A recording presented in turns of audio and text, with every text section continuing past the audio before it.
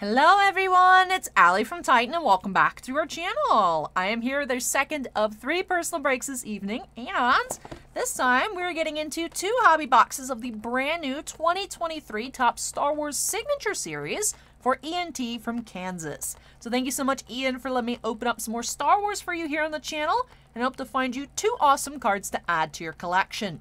Now, Star Wars Signature Series came and went super quick. It just released this past Friday, and now we are completely sold out. We have went through all of the boxes here. These are the last two remaining, and I'm hoping we end off with some really cool pulls here for Ian. I will say, I do like this year's base design and variation design much more so than last year's, although I will say the product has been a lot of fun it hasn't quite been the most impressive. So really hoping to end off with a bang because there are some awesome names in this checklist. Couple of first-time signers. You do have Diego Luna as Cassian. You have Lupita Nyong'o as Maz Kanata from The Force Awakens. So there's some really, really cool new signers, returning signers. We haven't seen them yet, so hoping we can find a couple in these two boxes. Also, before I jump on into these, would like to briefly mention that I am still in the running for the Cosplay Star competition.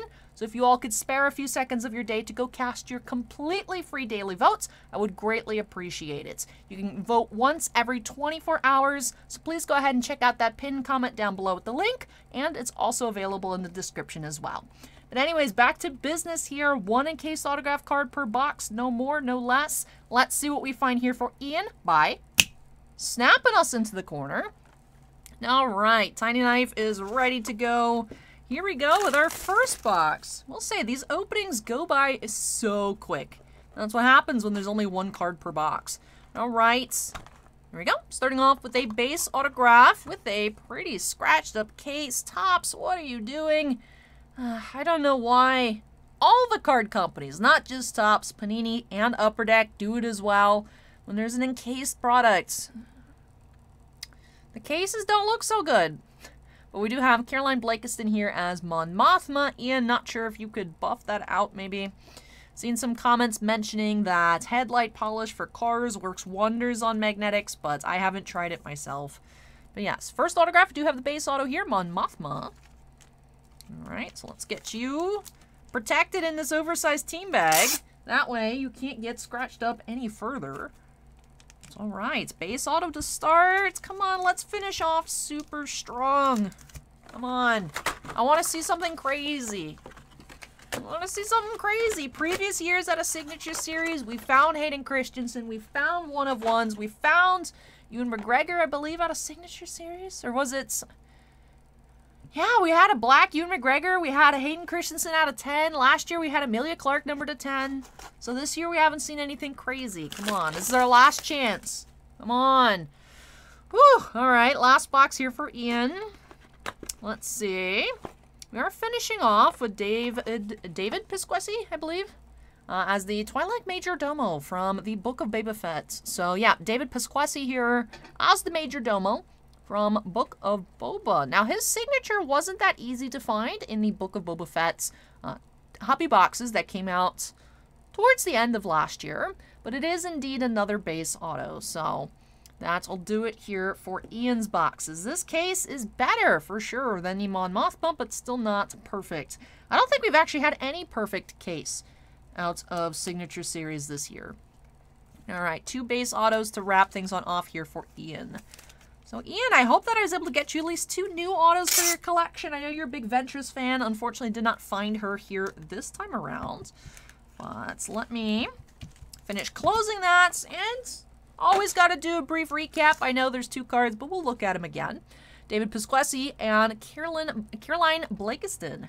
So Twi'lek Major Domo and Mon Mothma here for Ian. So thank you so much, Ian, for letting me open up more Star Wars for you here. I hope that you enjoyed the opening. And like I said, got you some new autographs, hopefully, for your collection, and that you enjoy them both. But with that, that does wrap off our signature series this year. So our lowest numbered card, we had a Laura Dern number to 5. Second lowest, we had an orange variation John Boyega number to 10. So...